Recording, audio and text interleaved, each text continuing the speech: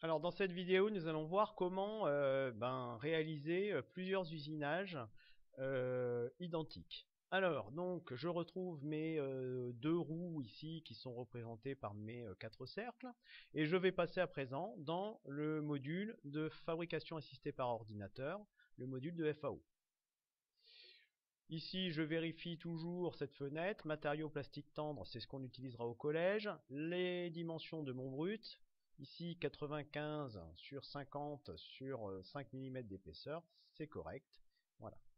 Donc à présent, comment euh, réaliser euh, des usinages multiples? C'est-à-dire que ici, je vais avoir deux usinages qui vont être identiques. Je dois faire ici un contournage intérieur de cette forme-là. Donc je vais appuyer sur, en même temps que je vais sélectionner la deuxième forme sur la touche Shift. Voilà, ça me permet de faire une sélection multiple. Ces deux formes vont être usinées de la même manière, donc je peux les sélectionner en même temps. Je vais donc ensuite faire un clic droit, créer un usinage. Ici, je dois fraiser, donc je prends l'outil à fraiser.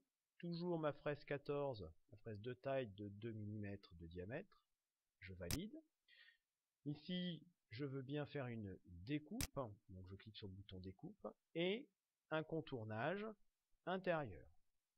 Je valide, je modifie les paramètres de coupe comme d'habitude, je laisse 8000 tours par minute pour la vitesse de la broche. En vitesse d'avance, je vais mettre 10 mm par seconde, vitesse de descente, je le laisse tel quel avec 10 mm par seconde, et la profondeur de passe, Ici, j'ai du PVC expansé, donc je choisis 2 mm. Je valide et mes deux trajectoires d'outils s'affichent.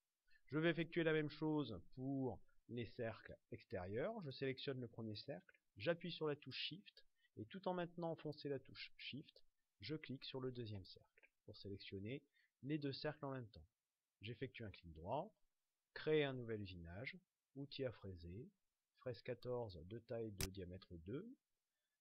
Ici, je veux faire une découpe, contournage cette fois-ci extérieur.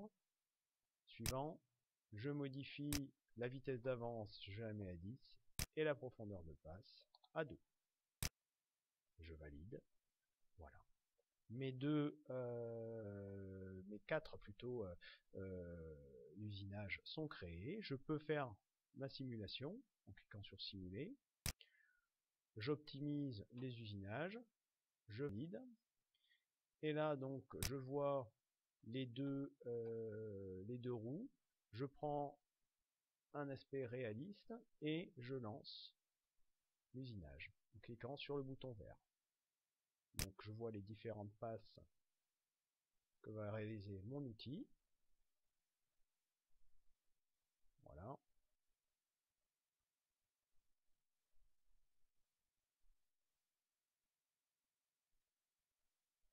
La simulation me convient. Je vais pouvoir donc euh, passer à la phase d'usinage de, de mes roues.